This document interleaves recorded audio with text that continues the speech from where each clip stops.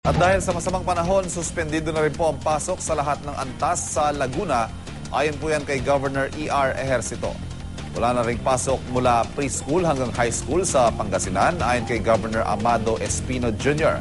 At sa lahat ng antas sa Baguio City, ayon naman po yan kay Mayor Mauricio Domogan.